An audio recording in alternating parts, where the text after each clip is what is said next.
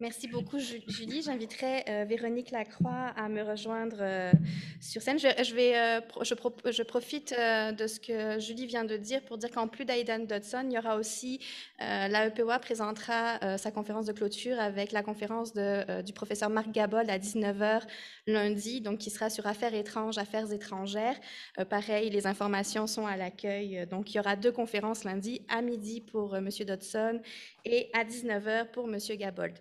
Donc, nous avons le plaisir à l'instant d'accueillir euh, la doctorante Véronique Lacroix, qui est euh, doctorante en histoire de l'art, mais elle fait une co-tutelle avec la Sorbonne sous la codirection donc, euh, de Valérie Angenot et de Pierre Tallet.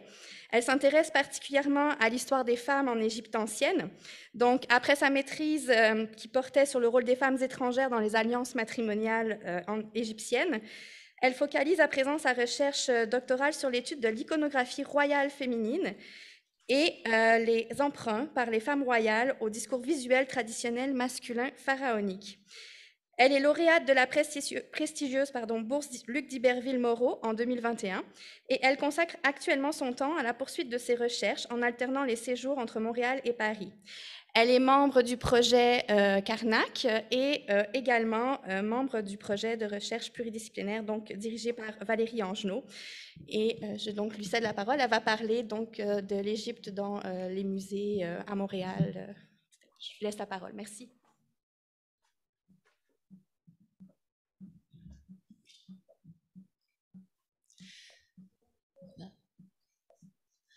Donc, euh, bonjour à tous. C'est vraiment mon plaisir de vous adresser la parole aujourd'hui euh, lors de ce symposium marquant euh, plusieurs événements dans l'histoire égyptologique. Alors, comme l'a précisé Mme Perrine Poiron, je vais vous parler des expositions permanentes, mais également des expositions itinéraires, temporaires qui ont posé pied à Québec ou à Montréal dans les dix dernières années. Alors, malheureusement, le Québec ne possède pas de grandes collections d'art égyptien comme en possède par exemple l'Ontario avec le Royal Ontario Museum de Toronto. Toutefois, quelques musées québécois présentent néanmoins des artefacts égyptiens dans leur collection, parmi lesquels le Musée des beaux-arts de Montréal, le Musée Redpath de l'Université McGill ou encore le Musée McCord.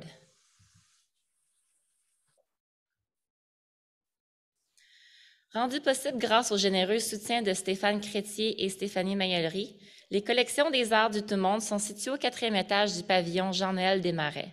Cette section du musée se constitue de dix galeries entièrement réaménagées qui créent un dialogue entre des œuvres de culture ancienne et celles d'artistes contemporains d'ici et d'ailleurs dans une perspective interculturelle et transhistorique. Parmi les objets exposés, nous y retrouvons une section consacrée à l'Égypte ancienne, où il est possible d'y voir quelques artefacts s'échelonnant sur plusieurs dynasties. Il nous est notamment possible d'y observer le cercueil de la momie d'Isis Ouéret, joueuse de sistre du dieu Mine, ayant vécu lors de la 26e dynastie, un magnifique masque funéraire en cèdre datant également de la 26e dynastie, et un splendide faucon en grès datant de la basse époque, sur lequel il est possible d'observer des marques du travail de la pierre, laissant ainsi penser que l'artisan n'a jamais complètement achevé son œuvre. L'ensemble des collections des arts du tout-monde au Musée des beaux-arts de Montréal est accessible de 10h à 17h les mardis et jeudis et, de 10h à 21h les mercredis. Les trois pièces présentées que je viens de vous présenter ne sont que des exemples et il est vraiment, faut vraiment se déplacer sur le lieu pour euh, constater l'ensemble de la collection tout aussi fascinante que nous pouvons les observer dans le département des arts du tout-monde au Musée des beaux-arts à Montréal. Située au dernier étage du musée, la collection égyptienne du musée Redpath est la deuxième plus importante au Canada après celle du musée royal de l'Ontario. Elle y rassemble des objets cérémoniels et religieux, des amulettes, des figures de bronze, et trois momies humaines, ainsi que plusieurs animaux momifiés. En tout, il s'agit d'environ 2000 objets appartenant à la culture égyptienne ancienne qui sont détenus par le musée. Ces objets proviennent principalement de cinq donateurs, soit la NHSM, on compte environ 300 pièces, l'Egypt Exploration Fund, ou EEF, donc environ 150 pièces, Nous comptons également l'archéologue britannique John Garstein qui a donné au musée environ 200 pièces, le politicien montréalais James Ferrier qui a fait un don d'environ 100 pièces, et finalement la famille Demidarche qui, nous a donné, qui a donné environ 170 pièces. Parmi les objets populaires, comme mentionné plus tôt, nous retrouvons deux momies thébaines rapatriées par James Ferrier entre 1858 et 1859 et une momie qui fut achetée vers 1880 dans la région de Aora et offerte au musée Redpat en 1895 par T.G. Roddick. Il est possible de visiter le musée de 9h à 17h du lundi au vendredi et de 10h à 16h les samedis et dimanches.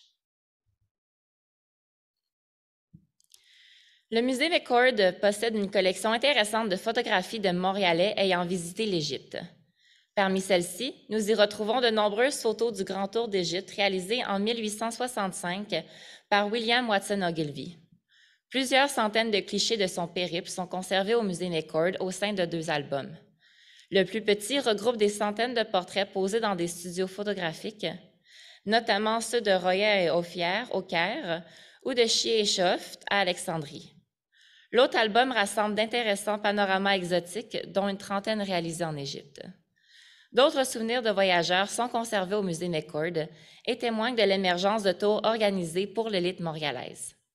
Des groupes entiers participent à ces tours, comme le prouve le cliché intitulé Our Party, qui se trouve à votre gauche, de la famille McIntyre-Oxton, pris vers 1894. Ou encore, nous y trouvons des scènes exotiques encore populaires aujourd'hui, telles que la promenade en dromadaire au pied des pyramides, qui se trouve à votre droite. Parmi les sources iconographiques du musée, deux illustrations particulièrement attendues attirent l'œil des égyptophiles, mais également plusieurs objets qui témoignent d'une présence de l'Égypte dès le 19e siècle à Montréal. Le premier objet que j'ai choisi de vous présenter aujourd'hui se trouve à votre gauche. Il s'agit d'une horloge euh, qui date d'environ 1874 et qui prouve qu'à cette époque, le goût pour l'Égypte avait déjà envahi le domaine privé. Cette horloge pyramidale regroupe des éléments variés entourant le cadran. Nous pouvons notamment y observer une barque solaire portant un bovidé, deux sceptres, deux aigles encadrant un cartouche et deux sphinges couchés qui tiennent une urne à la base de l'horloge. La deuxième, image que j'ai choisi de vous présenter est une aquarelle intitulée Afterwards in the Case of Ramesses II de William Bremer, peinte en 1892. Il est possible de visiter le musée McCord de 10h à 18h les mardis, jeudis et vendredis, et de 10h à 21h les mercredis, et de 10h à 17h les samedis et dimanches.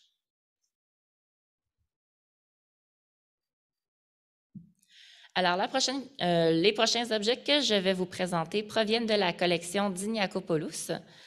Alors, euh, cette famille a parcouru l'Occident et l'Orient à la recherche d'artefacts antiques.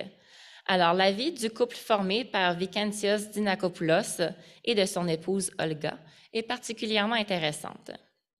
Quand la famille va quitter la France pour s'établir à Montréal vers 1951, elle y apporte avec elle la plus importante collection d'objets privés d'antiquité au Canada. Le couple va ouvrir une galerie d'art sur la rue Sherbrooke et va prêter une partie de sa collection pour les besoins du séminaire Saint-Thomas d'Aquin de Salaberry de Valleyfield en 1954. À partir des années 60, la famille d'Ignacopoulos va disperser sa collection d'artefacts constituée majoritairement de pièces en pierre de petite taille, parmi plusieurs institutions muséales et parmi plusieurs collectionneurs privés du monde entier. C'est donc 74 pièces qui vont intégrer temporairement le Musée national des beaux-arts du Québec en 1964, alors que d'autres vont se retrouver au Royal Museum et à la Queen's University de Toronto.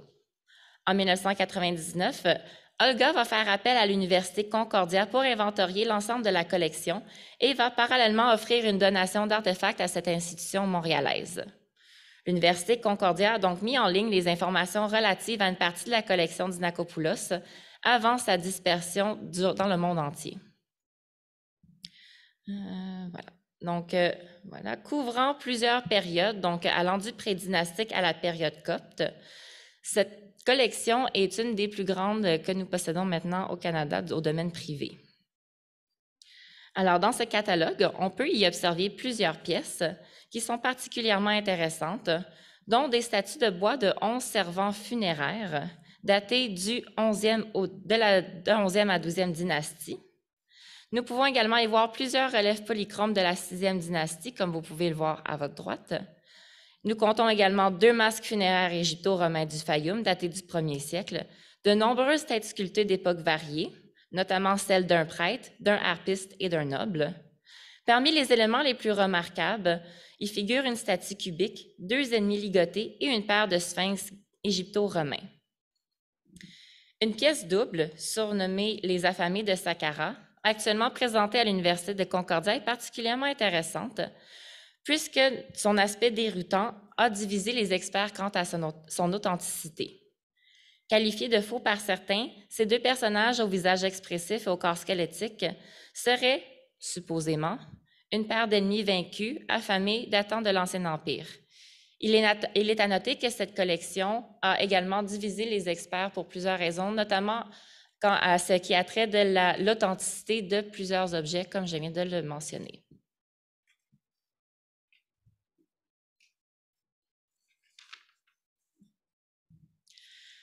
Alors, nous avons également euh, des ouvrages rares à Montréal. Quelques-uns de ces ouvrages sont dispersés dans les bibliothèques de livreurs de l'Université de McGill et de l'Université de Montréal. Ces deux bibliothèques regroupent plusieurs livreurs originaux, comme une, comme une œuvre intitulée Observations sur l'expédition du général Bonaparte dans le Levant et une autre œuvre de William Tooke intitulée Mémoire sur l'Égypte, publié pendant les campagnes du général Bonaparte de l'Institut d'Égypte. Nous retrouvons également plusieurs papyries rares à la bibliothèque de McGill qui datent de l'époque gréco-romaine. Vous pouvez voir certains de ces papyries sur la diapositive derrière moi. Il est possible de visiter la bibliothèque des livreurs de McGill du lundi au vendredi de 10h à 17h et sur rendez-vous seulement pour la bibliothèque de l'Université de Montréal. Donc, maintenant que j'ai dressé le portrait très sommaire des collections permanentes que nous avons à Montréal, je vais maintenant explorer diverses expositions itinérantes qui ont posé pied temporairement à Montréal et à Québec lors des dix dernières années. Alors, c'est un fait qui est bien connu. L'Égypte ancienne fascine depuis toujours. Cela ne date pas d'hier que les foules vont se presser devant les musées à travers le monde pour visiter la dernière exposition tendance qui a pour thématique l'Égypte ancienne. L'analyse de statistiques entourant plusieurs expositions révèle l'engouement sans fin des gens pour cette civilisation ancienne. Avec son art, ses trésors hors de prix et ses pharaons mythiques, il s'agit d'un succès à coup sûr. À titre d'exemple, Toutankhamon à lui seul a attiré plus de foules que les Beatles.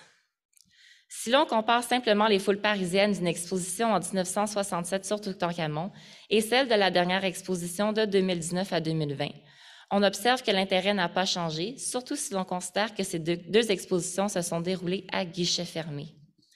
Un phénomène similaire s'est produit en 2004 à Madrid lors de l'exposition Les Heures sombres du Soleil, qui s'est également déroulée à guichet fermé alors que l'exposition ne contenait que 27 objets et un facsimilé de la tombe de Toutmoses III. Comme nous nous apprêtons à voir, un engouement similaire existe lors de passages d'expositions égyptiennes à Montréal et à Québec. Alors, la première exposition que je vais vous présenter est celle intitulée Fascinante momie, qui a été exposée au Musée de la civilisation à Québec entre 2019 et 2010. En 2010, le public a pu plonger dans l'univers de l'Égypte ancienne grâce à cette exposition. Cette exposition exceptionnelle et magnifique a révélé de multiples détails sur la croyance en l'au-delà et sur les pratiques entourant la momification et la tombe. C'est quelques 225 objets qui ont été présentés. On y retrouve aussi une reproduction fidèle de la chambre funéraire de Senedjem. L'exposition était également l'occasion de mettre en avant un important artefact de la collection du Musée de la Civilisation, la momie de Nenouenf, âgée de plus de 3500 ans, qui avait été notamment scannée pour les besoins de l'exposition et dont les résultats y ont été dévoilés en primeur. Le musée enregistre alors un nombre record de 80 000 visiteurs chaque mois. C'est un total d'environ 800 000 visiteurs. De plus, en l'honneur de l'exposition, Une série de six conférences données par l'égyptologue Michel Gay est mise sur pied et chacune fait salle comble. Donc, en 2015, toujours au Musée de la civilisation au Québec, le musée est encore une fois témoin d'un scénario identique pour son exposition Égypte magique, où c'est 475 000 visiteurs qui se sont présentés sur une période de 11 mois pour admirer l'ensemble de la collection réunie sous le toit du musée. Cela représente environ 43 200 visiteurs par mois. Cette exposition, présentée en collaboration avec Stitching Regic Museum van Oudenhen et le Musée du Louvre, est articulée autour du thème de la magie et de l'importance que celle-ci prenait dans la vie quotidienne des Égyptiens anciens. Cette exposition présentait environ 300 objets en provenance de musées de partout à travers le monde. Pour passer maintenant au musée montréalais, en 2018, dans le cadre de son exposition Reine d'Égypte, une exposition développée par le musée de Pointe-à-Calière et le musée Guizot de Turin, ce musée montréalais a vu sa fréquentation bondir de 14 par rapport à 2017, accueillant pas moins de 527 000 visiteurs, dont 316 d'entre eux se seraient procurés un billet pour l'exposition temporaire. Il s'agit de 60 des visiteurs de 2018 qui se sont intéressés à cet événement novateur. Reine d'Égypte propose une incursion dans le quotidien des épouses, mères et filles de Pharaon et du harem où elles vivaient en Égypte ancienne jusqu'à la vallée des reines, leur demeure d'éternité. C'est plus de 300 objets, incluant une douzaine de sarcophages, une momie, ainsi qu'une, reproduction du tombeau de Nefertari qui ont été présentés au public lors de cette exposition.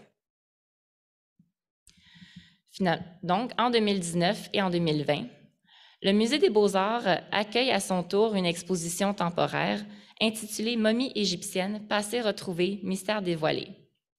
Cette exposition va également susciter un engouement non négligeable. Cette exposition, créée par le British Museum, va mettre en vedette six momies et 240 artefacts.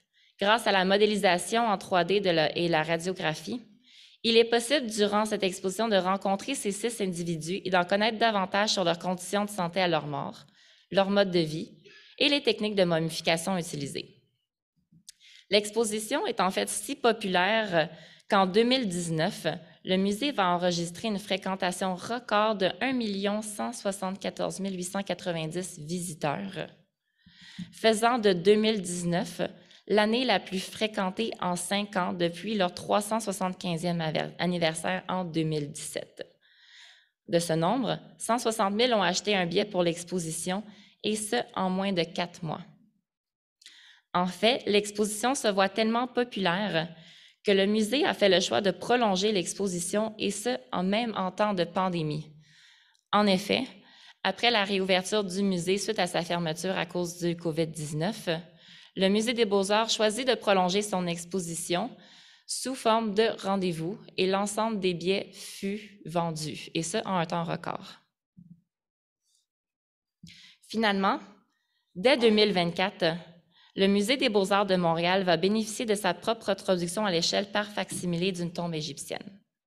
En effet, grâce au projet de recherche UJAT mené par la professeure et directrice du département d'histoire de l'art de l'UQAM, Mme Valérie Angenot, il sera possible d'admirer la reproduction de la tombe d'Eben de Nacht, astronome de Pharaon. Grâce aux avancées technologiques et à l'expertise de la Factum Foundation, le public montréalais et les touristes pourront venir admirer au Musée des beaux-arts la beauté exceptionnelle de cette tombe colorée et très bien préservée, sans avoir à se déplacer en Égypte. Il s'agit d'un pas important dans la démocratisation de la culture et pour rendre le patrimoine égyptien accessible à tous.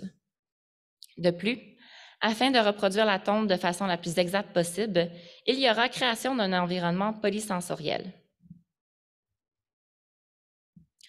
Cela aura pour objectif de recréer une expérience qui sera la plus près possible que celle d'un Égyptien aurait pu avoir en visitant la tombe en Égypte antique.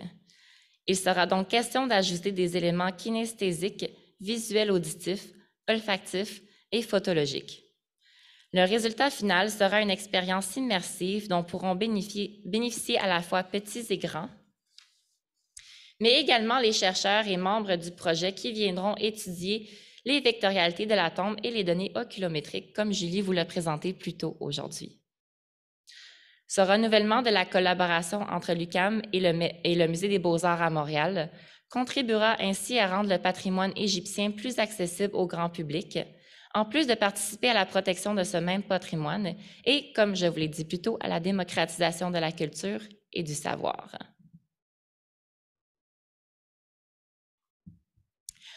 Tout ça pour dire que ce n'est définitivement pas la présence ou l'intérêt pour l'égyptologie qui manque au Québec et plus particulièrement à Montréal.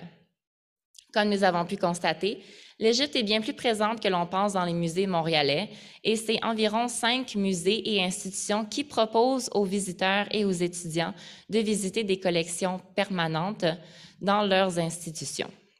Les étudiants et membres du public ont également accès à des livres rares par le biais des collections du musée, euh, du musée de l'Université McGill et de l'Université de Montréal. Donc, euh, en examinant à la fois les différents objets des collections permanentes des musées de Montréal et l'intérêt suscité par chaque exposition itinéraire euh, s'arrêtant au Québec, il est également possible de constater un grand intérêt pour l'égyptologie de la part du public. Finalement, il est valable de dire que l'égyptomanie est définitivement là pour rester et même grandir au sein de notre belle province francophone. Merci beaucoup.